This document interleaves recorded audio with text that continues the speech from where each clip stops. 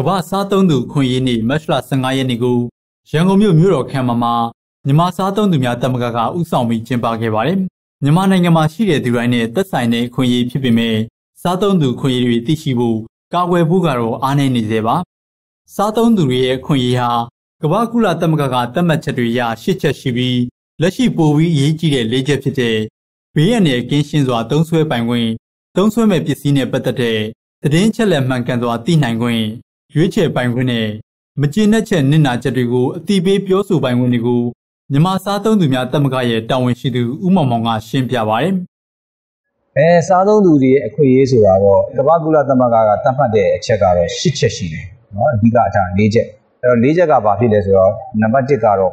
safety ပေါ့ safety ဆိုတော့ဟိုဘေးရန်ရဲ့ကင်းရှင်းလုံခြုံမှုရှိဖို့နော်အဲဒုတိယကြတော့သူကဘာလဲဆိုတော့အဲ့ဒီပစ္စည်းတွေထဲမှာပါတဲ့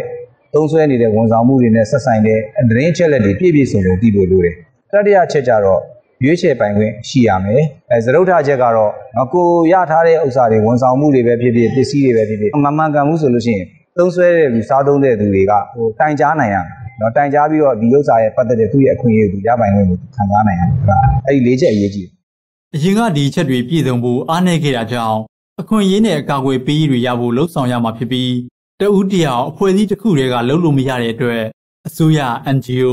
စီးပွားရေးလုပ်ငန်းတွေအားလုံးပူးပေါင်းပါဝင်နိုင်မှုကြိုးစားရမှာဖြစ်တယ်လို့သူကဆိုပါတယ်။ဒီခန္ဓာကိုမြို့တော်ဝင်ဦးလှမြင့်ပါဝင်ပြည်သူ့လွှတ်တော်ကျန်းမာရေးဝန်ကြီးဌာနနဲ့စီးပွားကူးတန်းဝန်ကြီးဌာနကတာဝန်ရှိသူတွေလည်းတက်ရောက်ခဲ့ပြီး Consumers International ကလည်းတဝန်လွှာပေးပို့ခဲ့ပါတယ်။မြန်မာနိုင်ငံမှာစားသုံးသူကာကွယ်ပေးရေးဥပဒေကို2014ခုနှစ်မတ်လ14ရက်နေ့က ပြည်ထောင်စုလွှတ်တော်ဥပဒေအမှတ်30နဲ့ပြဋ္ဌာန်းခဲ့တယ်လို့2014ခုနှစ်ထဲမှာပဲစားသုံးသူကာကွယ်ပေးရေးဗဟိုကော်မတီကိုဖွဲ့စည်းခဲ့ပါတယ်။ရန်ကုန်တိုင်းဒေသကြီးစားသုံးသူငင်းပွားမှုဖြည့်ရှင်းရေးဖွဲ့စားသုံးသူတိုင်ကြားမှုလက်ခံဆောင်ရွက်ရေးကော်မတီထုတ်ကုန်များလုံခြုံစိတ်ချမှုပိုင်းဆိုင်ရာလုပ်ငန်းကော်မတီတွေကိုလည်းရန်ကုန်တိုင်းစုရဖွဲ့ကဖွဲ့စည်းခဲ့ပြီးအငင်းပွားမှုနဲ့ရေးယူဖို့အတွက်ရန်ကုန်တိုင်းဦးစီးမှုယုံကုသန်းရောင်းဝယ်နဲ့စားသုံးသူရေးရာဦးစီးဌာနတွေကိုဆက်သွယ်နိုင်တယ်လို့ကြေညာထားပါတယ်။ စားသုံးသူမှာအစားအသောက်ပြင်ကုန်စည်နဲ့ဝန်ဆောင်မှုကိုပါသုံးစွဲနေသူတွေပါပါဝင်တာကြောင့်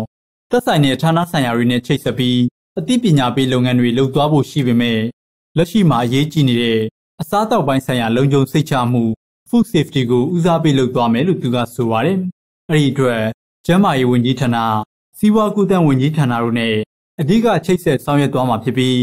စားသုံးသူကာကွယ်ရေးအတွက်သက်ဆိုင်တဲ့ NGO တွေနဲ့လည်းပူးပေါင်းလှုပ်ဆောင်သွားမယ်လို့ဆိုပါတယ်။ စားသုံးသူဆိုတာကတော့ good တွေပဲမဟုတ်ဘူး services တွေပါတယ်။နောက်ကြတော့ပညာရေးတွေ၊ကျန်းမာရေးတွေဒါတွေလည်းစားသုံးသူကိစ္စပဲ။ဒါတွေနဲ့ပတ်သက်ပြီးတော့လည်းသူ့နဲ့ဌာနဆိုင်ရာအားလုံးနဲ့ကျွန်တော်တို့ချိတ်ဆက်ပြီးတော့နောက်လုပ်သွားရမှာပေါ့။အခုလောလောဆယ်တော့ food safety ကအရေးကြီးနေတယ်။ food safety အရေးကြီးတော့တာဝန်ရှိတဲ့ဌာနတစ်ခုကကျန်းမာရေးဝန်ကြီးဌာနနဲ့စီးပွားကူးသန်းဝန်ကြီးဌာနပဲ။ဒီနှစ်ခုနဲ့တော့ကျွန်တော်တို့ဟိုဆက်သွယ်ပြီးတော့လုပ်နေကြပါတယ်